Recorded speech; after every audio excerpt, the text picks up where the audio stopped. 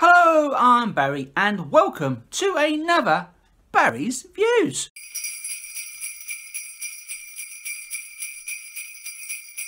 So, welcome to another Barry's Views, and in this video, this will be my views on those classic 80s commercials that I used to watch when I was a small lad. So, without further ado, let's start with this video. It is a classic one, obviously, because it's from the 80s, and it's starring none other than Crocodile Dundee himself. Before he was Crocodile Dundee, here is Paul Hogan. Everyone's talking about this really beautiful Carol. So I thought I'd buy her a drink. Carol! So in this video, I noticed when I was looking back that there was a lot of drinks adverts out in the 80s. What were they trying to say, that we were drunk at the time? Probably were actually. but there you go. So here is a, another one of those adverts. It's by... Um... Carling Black Label. Oh yeah, thank you very much.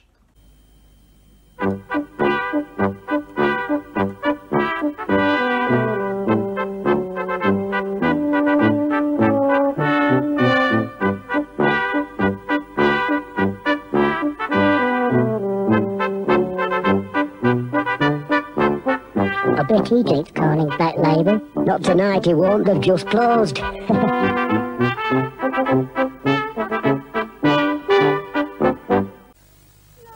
squirt, squirt, squirt. That's a hat trick. Anchor Real Dairy Cream. Perfect for Christmas. And I thought I did the bad jokes. Talking of bad jokes, here's one for you. And I haven't done one in ages. Bloke goes into the doctor's with a mince pie up his bum. The doctor turned around and said, Do you want cream with that? Oh. Whatever you've forgotten or run out of this Christmas or New Year, batteries, biscuits, videos, Coke, ice cream, just about anything. So where could this great place be? Don't forget 7-Eleven. We've got it all in one. So if you're missing something this holiday, don't go crazy. Go to 7-Eleven. Really? 7-Eleven? Because that's where you want to go and get your Christmas gifts from, isn't it?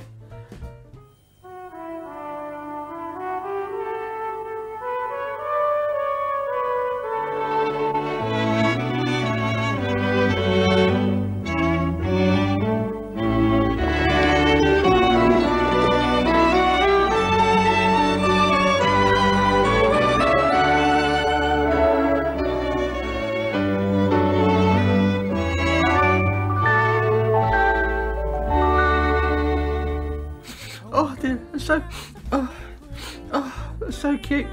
Here's Paul Hogan again. Oh. Happy Christmas. Happy Christmas, everybody. You know where I come from, we're used to things pretty hot around Christmas. I reckon you can overdo it. Still, we could always cool down with a couple of ice cold Fosters. Hmm. Tastes like an angel crying on your tongue. Come on, everybody. Nigel and Jerry are just going to set the fairy on top of the tree. Oh, good. good old Jerry. Foster's, the amber nectar. But if you want great lager, follow, follow, follow, follow the bear. All right, why not? See in a bit. On the first day after Christmas, my true love gave to me leftover turkey. On the second day after Christmas, my true love gave to me turkey casserole that she made from leftover turkey. So where is this great place that we could all go when we're sick of eating turkey for Christmas dinner? If Christmas is lingering longer than you expected, we have a suggestion. A pan pizza from Pizza Hut with pepperoni, mushrooms, almost any topping at all, except one.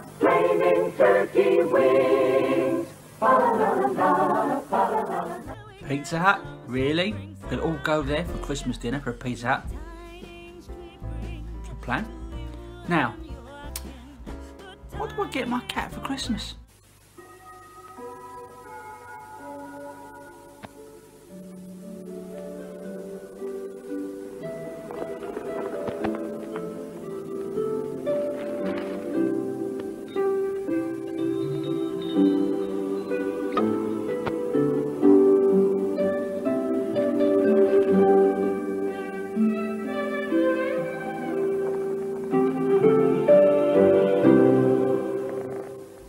Now it's time to do a bit of crooning. Uh, boom.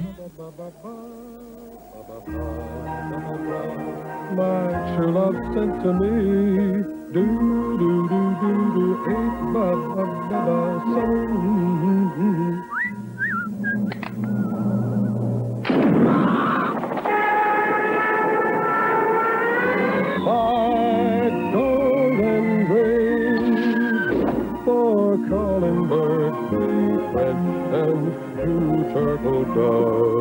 And a partridge in a pear tree.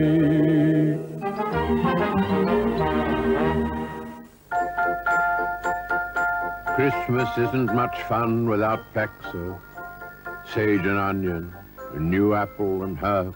So nothing says Christmas quite like stuffing a bird. A disc camera makes a great gift, but make sure it has an automatic flash, automatic exposure, ideally a five-year power pack, automatic wind-on, most important, a glass lens, and the button that does it all for you. This Kodak disc camera will give you all six for around 30 pounds. There are cheaper cameras, but then something has to go. The Kodak disc camera, the complete Christmas gift. I actually used to have a disc camera. They're quite good actually if I remember rightly. But now here's one for my Aussie friends. In Western Australia, they're dreaming of a light Christmas. Swan Premium Export. Swan Special Light. One taste, two strengths. Now I'm stuck in London doing some Christmas shopping. Is there any way I can get around? Maybe, I don't know, a system of trains that go underground? Yes, even they did an advert. Uh, Where shall we go tomorrow? Christmas shopping. If we take the tube to Oxford Circus, we'll avoid the rain, dear. See, even London Underground did a Christmas advert. And I'm talking of um, London Underground. Also, during the New Year, we used to have the New Year celebrations in and around the London area. They did this as well. Here's Paul Hogan again. G'day. Got some seasonal greetings for you, courtesy of the Amber Nectar. To make sure you all get home safely on New Year's Eve, Fosters are paying all fares on London transport. Mind you, if you're all going to jog eh? home, I'll tell them to save their money. Cheers. So there you go. Foster's used to pay for the underground to be free during the night up to its last train, and on the bus as well every New Year's Eve day, which we they still do. Well, Foster don't do it, but in London Underground and the buses they still do free travel for the party revellers. And that's today. But the only problem is, I wait somewhere because normally nine times out of ten there'll be drunk people all over the place, and there'll be just a sea of vomit everywhere. But there you go. But thank you very much for watching. I'll maybe do another one of these uh, videos soon. And if you liked it, you know what you got to do. See you all later. Bye.